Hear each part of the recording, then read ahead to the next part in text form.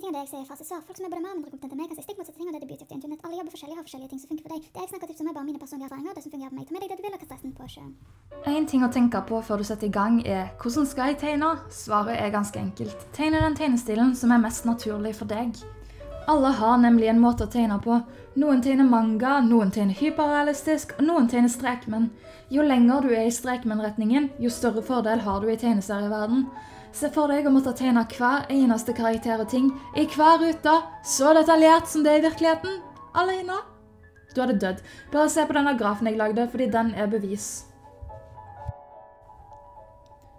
Poenget er at det er en fordel å tegne veldig enkelt. Ting jeg gjorde av Maren Uthaug gikk i Dagbladet da Dagbladet posta daglige tegneserier og var kult. Hun tegner veldig veldig enkle strekmenn, og stripene er morsomme, fengende og veldig suksessfulle. Det er mye viktigere å fortelle en god historie enn å tegne perfekt. Og det er det som er det fine med tegneserier. Du trenger ikke å tegne som Arild Midthun eller Leonardo da Vinci for å få det til. Du har faktisk mer utbytte av å ikke tegne som deg eller noen andre. Å finne sin egen stil er lett og vanskelig samtidig. Du har det jo inni deg, fordi det har alle, men du kan alltid utvikle og forbedre stilen. Jeg tror det handler om hvordan du ser verden, eller kanskje hvordan du vil se den. Jeg ser på det litt som dette. Mange ville snudd denne pyramiden opp ned og sagt at du må lage en grunnmur av teori og teknikk først. Men jeg vil ikke det, og jeg vil ikke råde noen andre til å gjøre det heller. Jeg tror at Hvis vi drar alle gjennom de samme øvelsene og bøkene, så kommer folk ut på den andre sida som mindre originale og kreative enn de kunne ha vært.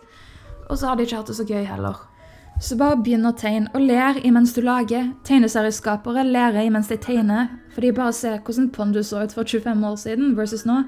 Eller se hvordan serien min så ut for fire år siden versus nå.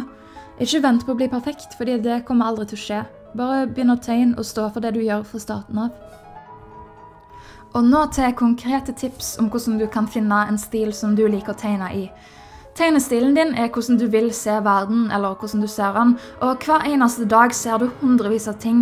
En kaffekopp, en datamaskin, kjøleskap, tak, gulv, border, stoler, mennesker, dyr, trær, blomster. Og når du skal tegne en kopp, så må du se for deg en kopp i hodet ditt. For å komme nærmest mulig din egen stil og ditt eget uttrykk, prøv å se for deg favorittkoppen din. Tegn den ned fort og enkelt. På den måten så får du en kopp som er litt annerledes enn måten alle andre tegner den på. Det blir ikke så generisk. Og I tegneserier så skal du tegne masse, og du skal tegne de samme tingene mange mange ganger. Og Da er det en fordel at det er så enkelt og raskt som mulig. Det er ikke viktig at det er så realistisk, fordi den eneste oppgaven du egentlig har, er at leseren skal skjønne hva du har tegnet. Så setter deg ned nå og se for deg favoritthunden din. Det kan være venninna di sin hund, en hund du følger på Instagram, din egen hund eller hva som helst. Bare se for deg en hund i hodet ditt akkurat nå. Ok, og nå skal du tegne hunden. Ikke se på et bilde av han først, bare tegne ned akkurat som du husker han. Du kan sette meg på pause imens du gjør dette, og så skal jeg eh, tegne en hund, jeg òg. OK, sånn ble min hund. Din hund ser mest sannsynlig helt annerledes ut, og det skal han gjøre. Du er en helt annen person enn meg, og du lever et helt annet liv. Hunden min ble sånn fordi jeg tenkte på Kajsa, hunden til venninna mi. Kajsa er favoritthunden min. Hvis jeg bare skulle tegnet en vanlig hund, så hadde det sikkert blitt en litt mer generisk en, eller et eller annet. Men ja, jeg spurte noen av folkene jeg kjenner om de ville gjøre samme oppgave, og her er tegningene de sendte inn. Det er sykt interessant å se, fordi her er det veldig mange forskjellige måter å tegne en hund på, men vi ser at det er en hund uansett. Og det gøyeste med alt, det er at ingen av disse hundene er på noen måte feil, ikke din heller. Denne øvelsen har vært nyttig for meg, og du kan bruke den på det aller meste. Tegn hunder, flasker, stoler, hodeskaller, iPader, eller jeg håper ikke at du har en favoritt-hodeskalle, men sånn som du ser for deg en hodeskalle iallfall. Det er bare du som har sett alle tingene du har sett, så bruk det visuelle biblioteket du har i hodet ditt, og kreativiteten. Og ikke vær redd for å søke opp referanser etterpå eller underveis, eller se på tingene rundt deg. Jo mer du tegner, jo større visuelt bibliotek får du, og jo større forståelse får du for hvordan ting ser ut og henger sammen.